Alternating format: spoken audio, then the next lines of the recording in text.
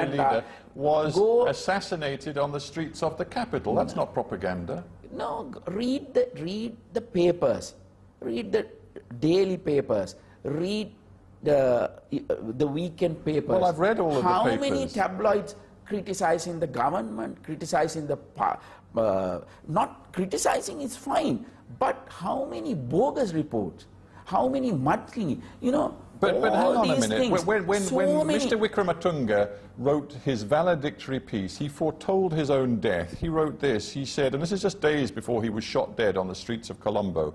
Murder, he said, has become the primary tool whereby the state seeks to control the don't organs by- of liberty. Don't go by these people who are writing against. You know, there are Well, enough not- people. he's not writing Today, anymore, I. I, I, I can quote enough, uh, I can show you enough papers written against President uh, of America or the uh, Prime Minister of UK. Well, of course you So- can. And, and so when I you- criticize, when I criticize the government of so Britain, I do not, I do not no, end up with a bullet in the head. criticizing is different. The, I can show you enough tabloids, you know, quoting a lot of parliamentarians, ministers in the UK, you know.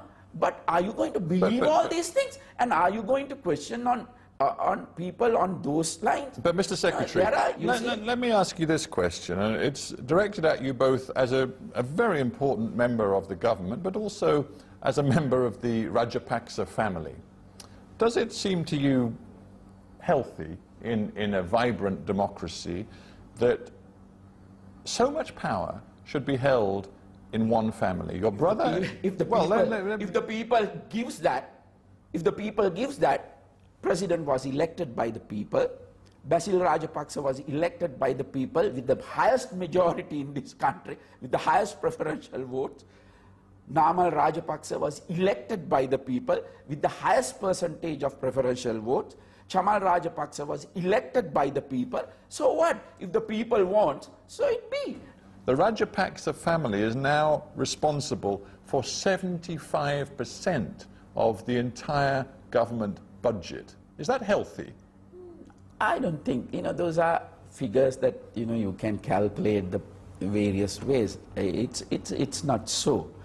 Uh, but um, Well, it is so, We to be honest. If you, think, if you think about it, the president himself have- is we- responsible for uh, have- transportation, you know, I- I- let me- highways, ports. You we- know that one of your own I- brothers is known in this country as Mr. no, 10%. I- I you, you know that. No, I, that, those are, those are you know, uh, that rhetoric by the opposition, that, that is a very common thing in, in this world, not only in Sri Lanka, all over, people uh, blame various politicians and without any uh, base. You know, there had been a lot of allegations against me, people, because just for purely for their personal gains. I went to courts. No, but you know, when when the, the uh, when a, a particular paper published a wrong.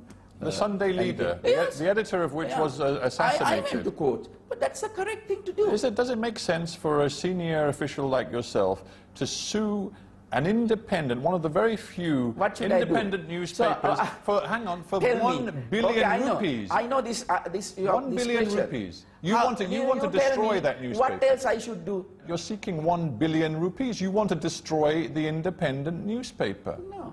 Well, why are you seeking? to- Why are you seeking just- one? Why are you seeking I, I one billion just, rupees? I want to put on record that this was a wrong allegation. And why are you seeking I- one billion rupees, which you know they can't afford? Why are you doing that? Say if they can't afford, they have to close down the Exactly. papers. Yeah.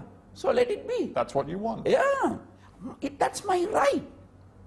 That's my right to defend myself. Mr. Secretary. And tell the, tell the people, look, all these are bogus allegations. If I may, Mr. Secretary, I need to ask you a personal question. Are, are you worried that you personally may be accused of war No, crimes? I'm not worried because I have not done any crime. You see, that- that- that- that- fi- as you fighting know, that is not- fighting terrorism a crime? Is fighting terrorism is a crime? Depend, depends how you fight it. Yeah, Depends how- what you do. There is only way to fight terrorism. Fight. No, but it is- wouldn't- I don't see it that wouldn't- there- it there is wouldn't- any. Is If you believe you're involved in a war on terror, it would not allow you, for example, to give an order to one of your senior officers telling him to shoot people who are trying to surrender waving a white flag. No, I have never That would still be a war crime. Nobody had done that. Nobody had Well, you know that. that the army commander at the end of the war has since given interviews in which he says he has information that you gave an army commander the instruction No, to don't, shoot. don't grab these political issues. You know what? Who, who he is? He contested for his, you know, personal uh, gains. So don't drag him into but this. this is General this is- Fonseka who says he has information No, that you gave to- the order That is to a political. the, that- that's a political game. Well, that's You know, what I want to pursue now. I want to talk uttered- about that. I want to talk about that. You keep saying it's a political game. Is the fact that General Fonseka is now in detention? He's lying. He's lying. is in detention, he faces court martial, is that because he, in essence, accused you of a war crime? And he also said he would be prepared to... That is to. one point. And he That also said, I'm hang telling on, you. he also, that is one point. he yes. also said he would testify before an independent war crimes investigation. Is that, Yes. what, is that what you were frightened Yes, of? Yes, it is that one point. He can't do that. He was the commander. He's responsible. He's a, that's a treason. We will hang him if we do that. I'm telling that's a treason. You would not How can he tell that? How, how can he lie that? How can he betray the country? How can he, by such lies? That's he, if he says that, he's a liar.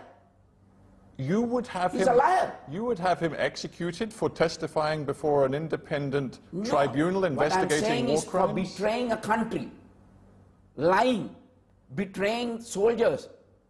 Isn't that a crime? Is that a treason? What is going to happen to General Fonseka? I don't know. He has to face the court martial. So the court martial, court will give the decision. It is extraordinary, is it not, that this man who was close to you, close to your brother, the president, who was the head of the army, Don't talk is- about him. It's a, it's his own wish, his ambitions. He, he, wanted to, uh, uh, you know, contest elections, so he did it. Yeah, Mr. Secretary, it, it just strikes me that we're at a very important moment in your country. The war has been over Yes. for one year, and you and the people in the government, and indeed the wider population, have to decide what sort of a country in this post-war period you want to live in. Yes. Do you want to live in a country that is truly democratic, where Yes. the rule of law is respected and is paramount? Or do you want to live in a country where there is a strongman leader, where in the end security and the interests of power are put before individual rights? No, you, which you country, put it in a which very, Sri Lanka very, do you want to you, live you in? put it in a very, very wrong way. You know, we, the president was very recently was elected by majority of this country, people, as the head of state. We just finished the parliamentary election. You know, this is democracy. This is democracy. But, you know, the security in this country is not for, the pol- for one person. It's not for one family. It's not for some people. It is for the country. It is for the people of this country.